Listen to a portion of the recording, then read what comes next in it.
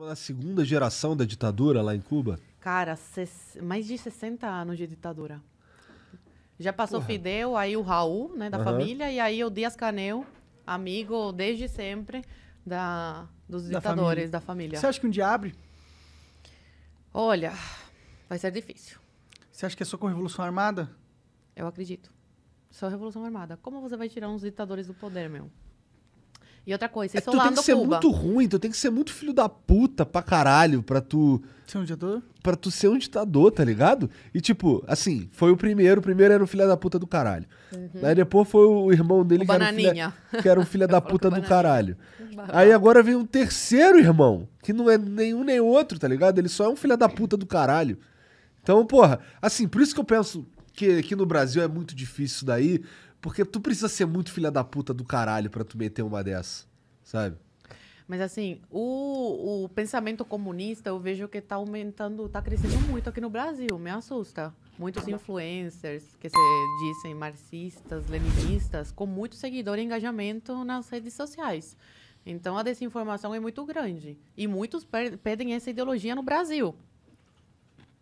Então eu não acho tão difícil, não. Mas sobre isso, você é, acha que deve ser assim? Deixar, o que você deixa acha? O pessoas... que, que o PT ganha financiando ditaduras como a de Cuba, Nicarágua? O que, que eles ganham com isso? Será que não é apoio político, né? depois para cá? Parece horrível isso. Tem cubano infiltrado aqui. Por exemplo, no, no programa Mais Médicos, eles mandavam infiltrados para cá.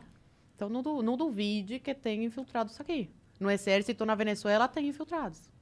Cubanos? Sim. Quando tem revoltas na, na Venezuela, cubanos são enviados para lá para controlar o, o povo. E quando tem em Cuba, os venezuelanos são enviados para Cuba para controlar o povo cubano. Então, é assim que funciona. Tem infiltrados, eles têm infiltrados em todos os países, acredite. Caralho. Imagina, então a gente pode. Bom, pelo que tu tá falando, então é um risco real a gente voltar. Voltar. A gente passar a ser um, uma Venezuela. Cara, a gente tá perdendo a nossa liberdade. Você não pode criticar um Ah, uma parada, uma parada que o monarca que, ia falar. Como que você chama isso? Quanto ao... Assim, a gente tá falando sobre liberdade de expressão e tal, e ele ia te perguntar sobre o, os, os influenciadores marxistas. Que, bom, eu imagino que a tua pergunta ia ser... É, deixa eles falar, não é? Claro! Claro, eu sou defensora da liberdade. Por mais besteiras e abobrinhas que você fale, você tem seu direito de falar isso.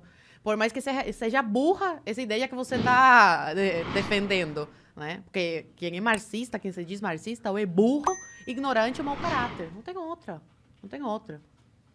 Até uma certa idade, você ser marxista, ok, ai, que bonitinho, igualdade, papapá, liberdade utópica né?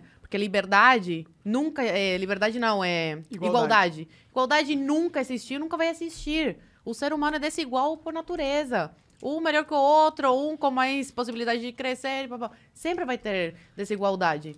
Então, até uma certa idade, você defender igualdade, ok, bonito, que legal. Depois disso, meu, é burrice, é mau caratismo. Acabou. É, não a verdade outra. é que não dá pra. É, igualdade é. É burrice. Só não def... chega. Meu, você defendeu uma ideologia como a, o comunismo, cara, que cala tua boca depois que os caras tomam o poder. Quem que def... em sã consciência defende isso? Você tá defendendo que calem a tua boca.